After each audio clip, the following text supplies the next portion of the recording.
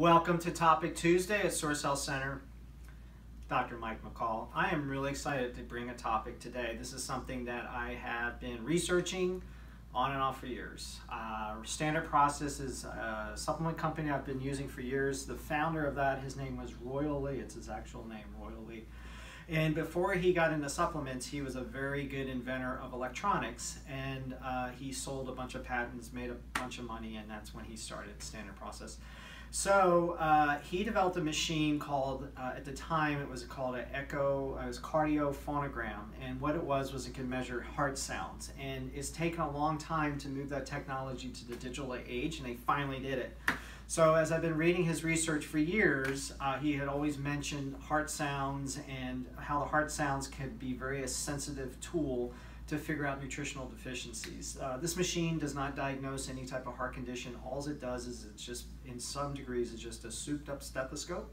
And by the sound waves, we can a lot of times uh, figure out nutritional deficiencies. So it's something I've been really excited to bring, and I can't wait to show you the machine, so follow me.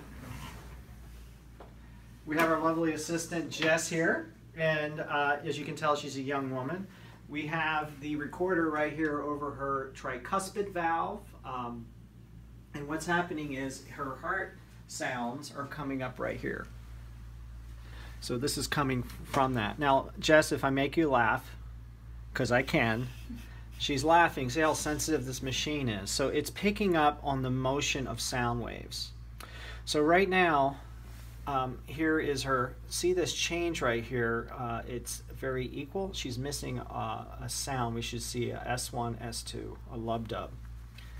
And we're missing that sound. Now maybe because we need to get the volume right, but no. Okay. So what's happening there is she's missing a heart sound. And um, that would be a good look to the cardiologist. I, I, I, don't believe that she has a heart problem, but it'd be something for the, her to get looked into before she reaches middle age. All right, so um, that is a heart rate recorder. And from this information, what we're seeing is this should be three peaks, pretty regular. She's right here, the second sound isn't showing up. So a lot that could be a um, an essential fatty acid deficiency, which is what Royal Lee figured out. Here's how it should look. There's a lub dub. She has a little disturbance right here, which means the valve isn't coming shut very rapidly. That's what that reflects. So I love this machine because for a couple reasons. One of those is I've been researching it for a while. Uh, I always wanted it as an adjunct to my muscle testing.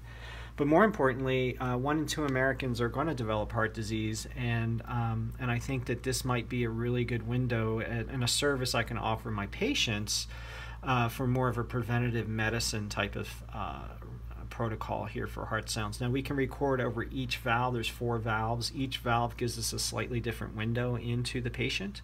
But for now, what she's looking like is, that's pretty good. That's a good sound right there, but she's kind of missing the second sound and um, that can be a vitamin B deficiency.